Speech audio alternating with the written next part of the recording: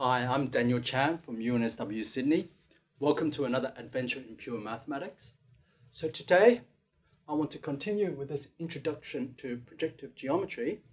And what I want to do is I want to introduce the concept of homogeneous coordinates. So these are coordinates that you can put on projective space, which allows you to calculate and compute in projective space. And the way we'll do that is by looking at projective space in quite a different way. So another way to motivate the concept of homogeneous coordinates and the need for them is that you remember how do we put the geometry on this uh, projective space? Well, the way we did that was we used the manifold approach. So we had various charts. Now, of course, on each of the charts, you have coordinates. So you can work with those coordinates there. And if you're in that chart, then you can use those coordinates. But as soon as you slide off that chart onto a different chart, then you have to change coordinates. So if you don't want to have to keep changing from one coordinate to the other, but be able to work with all patches simultaneously, then the best thing to do is to work with homogeneous coordinates. Okay, so what's our setup? So as usual, there'll be some field that we work over. And remember, what is a projective n space? What we do is we look inside affine n plus 1 space, say with coordinates x0 up to xn, and we just look at the set of lines which go through 0. In other words, the set of one-dimensional subspaces.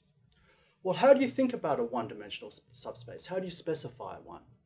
Well, the easiest way to specify a one-dimensional subspace is to give a basis vector for it. And what is potentially the basis vector for some one-dimensional subspace? It's just any non-zero vector inside here. So it's just an element of a to the n plus 1 minus 0. Okay, so given such a vector, we can identify it with the one-dimensional subspace it spans. So what we'll do is we'll construct a map phi from this affine n plus 1 space minus 0 to Pn by sending a non-zero vector x to span x.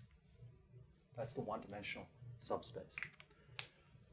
Now, of course, we can do this, and this will give a surjective map from this set to this set here, but it's far from being injective, so they're very different. Of course, given any one-dimensional subspace, you can pick lots and lots of different basis vectors for it. Okay, so let's see exactly what's going on there. So the question to pose here is, when does span x equal span of x prime? Okay, so this will tell us about the non-injectivity of this map. And of course, the answer to this is, well, it's when they're parallel to each other. So they're scalar multiples of each other. So in other words, x equals alpha x prime for some scalar alpha, which is non-zero. And so for the non-zero scalars, I'll denote this by f cross. Okay. So remember this f cross, the set of non-zero elements in a field, is actually a multiplicative group. Okay. So this multiplicative group actually acts on the whole of this set here by scalar multiplication.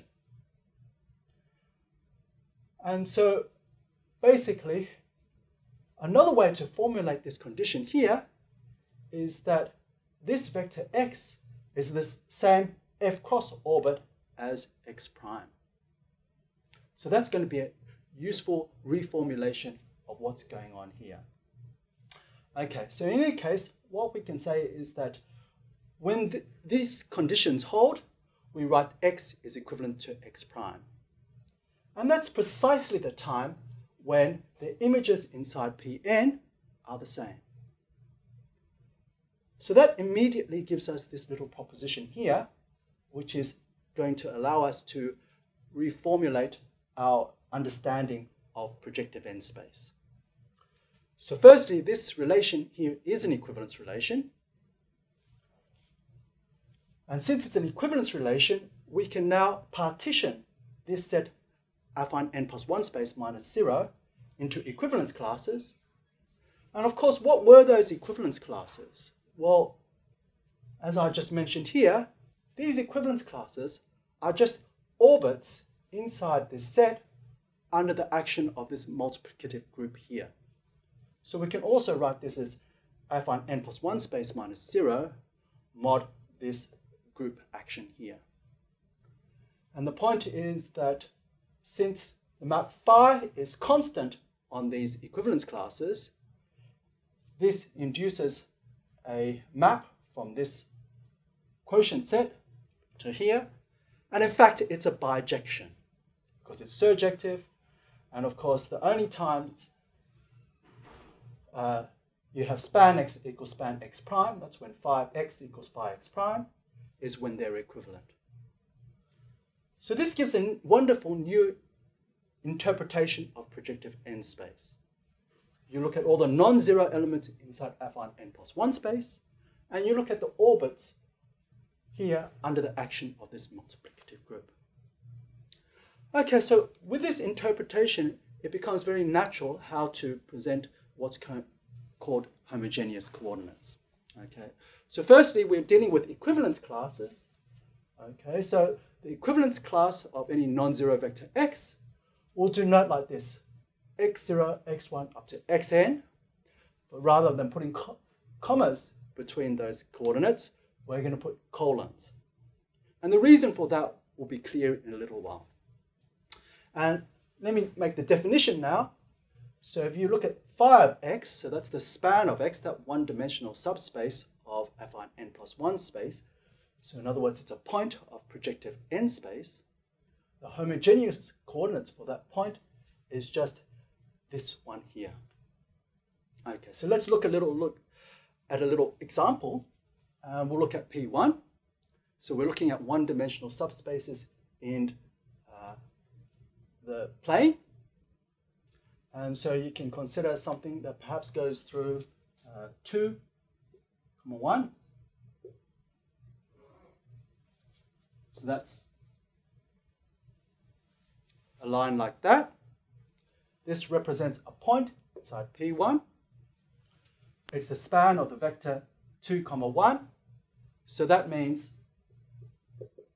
its homogeneous coordinates are 2 colon 1. Of course, it's also the span of this vector here, given by this point. And so we can also write that this is equal to half, or rather 1 comma half. 1 colon half.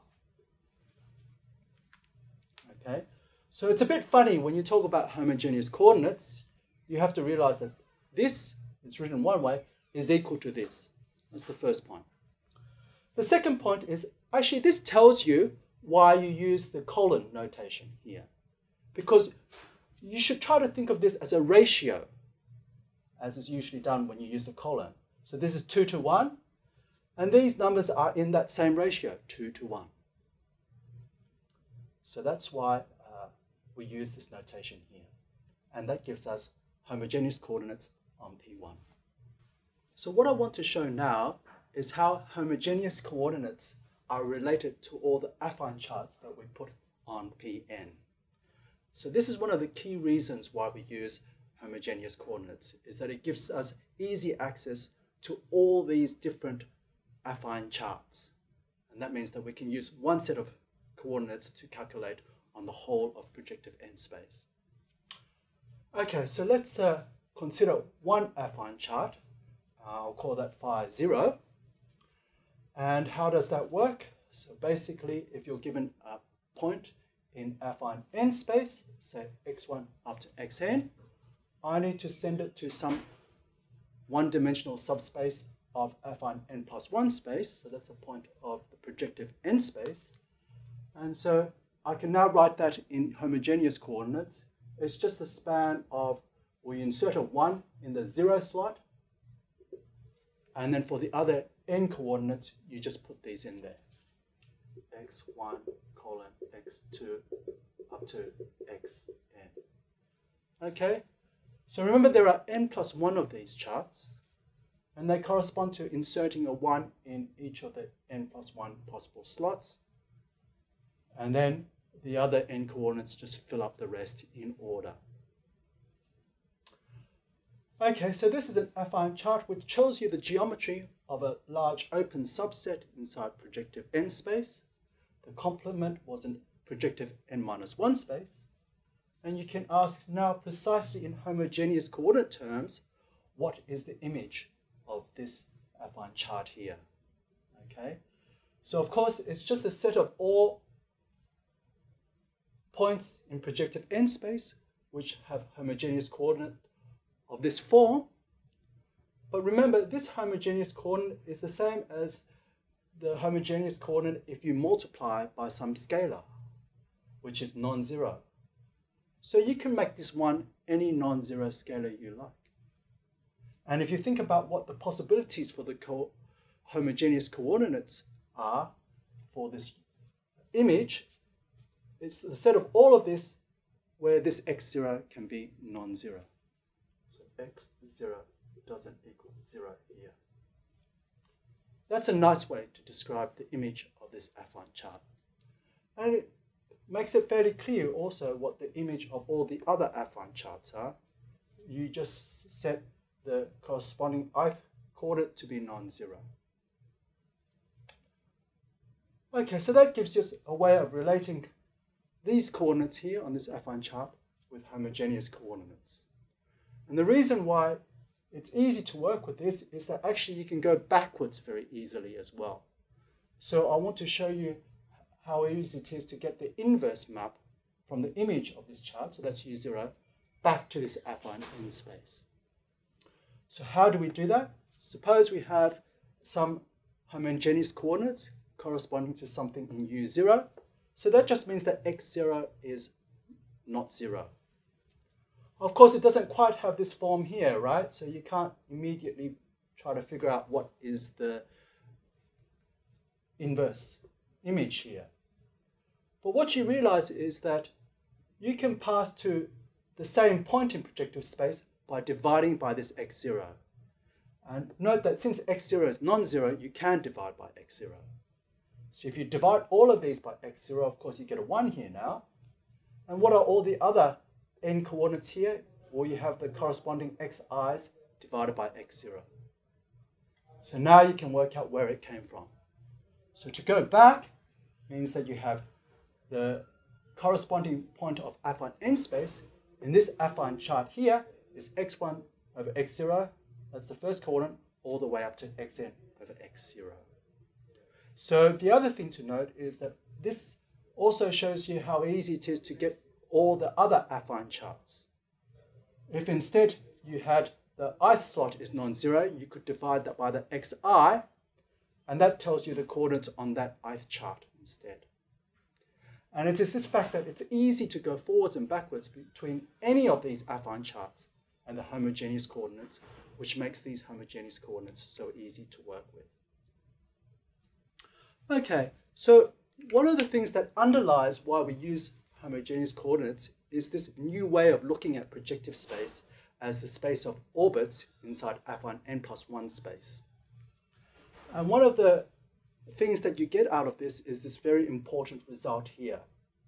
And that is that the projective n space, whether you look over the reals or the complexes, is compact in the Euclidean topology.